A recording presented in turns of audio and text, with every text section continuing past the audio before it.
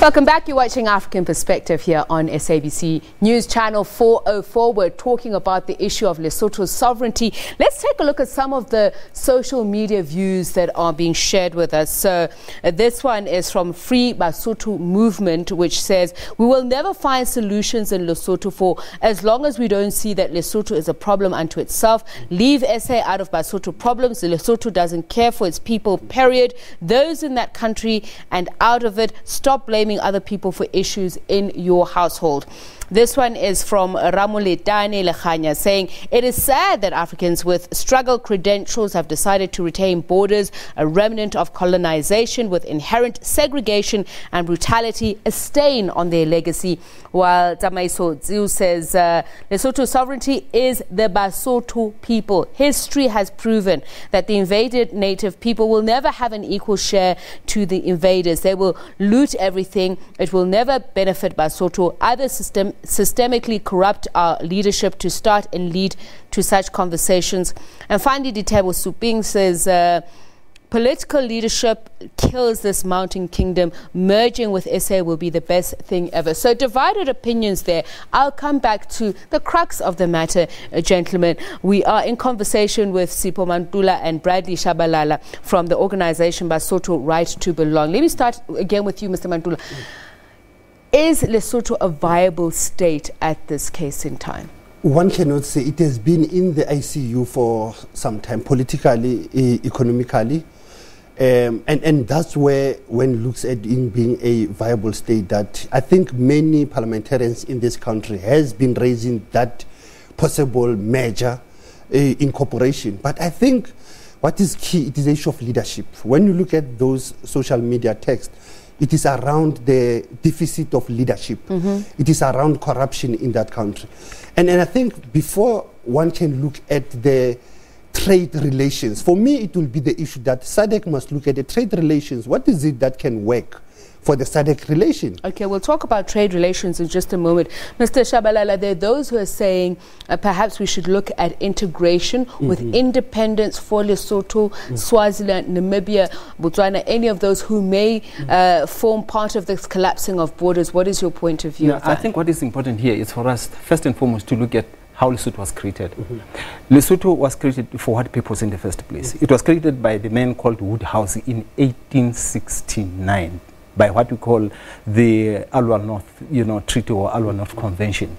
The really main purpose behind it, it was actually to make it a labor reserve after discovering diamond in uh, Kimberley in 1867. We have got facts, you know, towards that that will support that. And secondly, it was created. The second reason it was as a to make it, you know, I mean, as a, a, a policy of encirclement to stop the the Boers to go to penetrate through the the harbour you know, to, that was, it's for that purpose. So Lesotho itself, if you look at it, it's 89, over 89% mountains. It was never made as a country. It was deliberately So as a made. consequence, what are you saying? What I'm saying we can't talk about independence, we can't, I, I, I really need us to needle down and get straight down to yes. that.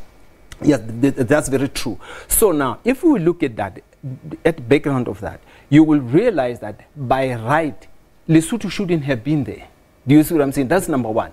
Basotho are part of this. And also, if we are to visit the international instrument, being, you know, I mean, uh, the, um, uh, the very same YouTube that I'm talking about, mm. in, um, uh, I think it's Article 20, 26, mm-hmm. Basotho have a right of citizenship in on the land, on their ancestral land. Exactly. Even Basotho who are in here have a right you know, to, to Lesotho, to citizens in the citizens. Okay. So now the question of a measure it cannot only be Basotho in the Lesotho, it also has to include Basotho in here. Okay. So how does that conversation then occur within the mediation efforts of South Africa? And I think that's why we're having that challenge, the issue of uh, constitutional reforms, the issue around uh, political leadership, the issue around e economy, but sovereignty has not been part of the terms of reference. I think the issue has been around constitutional reforms, the issue even of uh, coalition politics in that country. Every time they go for the elections, and within three or four years, it collapses. So I think one of the mediation efforts is to start within the Basotho kingdom. We'll talk about the collapse of uh, the government since 2014 and the reasons behind it. Let's look at some more um, tweets that are coming through. Of course, we're asking the question, what are your thoughts? Uh, this one is from Ratsebe Lekwatza, who says, as you know, um, less about what is really happening. AU knows less about what is happening in Lesotho. SADC under SA leadership is not working in the best interest of Lesotho. Both the government and the opposition lack political will. A big no to integrating Lesotho with SA. SA should bring back our stolen land. Diane Reguigra says, I'm for incorporation, then rename Free State to Lesotho, and Lesotho becomes 6th district. Moshesha district of Free State, King Letsie gets same perks as Zulu King. Lesotho has a potential to be the biggest tourism district if part of South Africa build a national route from Bloemfontein to Durban. And Retabile Masilo says, I prefer merge to integrate. But that action, yes, Lesotho's resources are not being exploited correctly, but are instead being exploited incorrectly. So, yes, let's merge. We have failed ourselves and our children. Is that the case, uh, Mr. Tshabalala? Uh, looking at the daily cro- uh, border crossings, people are here for education, people are here for health. Has the government of Lesotho failed the people of Lesotho? No, in fact, we can't actually say that the people of Lesotho, I mean, uh, the government of Lesotho alone has failed the people of, you know, of Lesotho.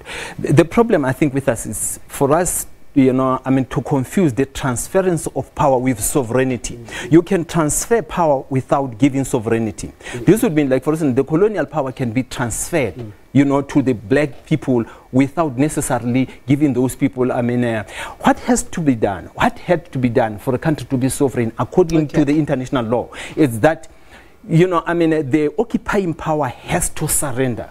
And the indigenous I'm going to have to move on to Mr. Mantula for final comments. Is a unifying of monetary policy perhaps a better step to take? Correctly, it is. But remember, Africa Without Borders, it has been the AU uh, issue, the Africa One passport.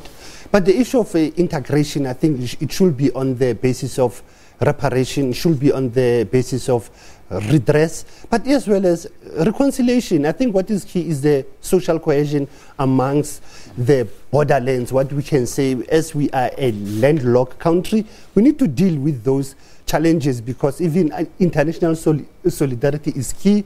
But Africa without okay. borders, I think that's one one will want to push. Thank you very much to you both. Unfortunately, we have run out of time. Advocate Sipho Mantula and Bradley Tshabalala, who is chair of the organization Basotho Right to Belong. You continue the conversation at African Perspec One.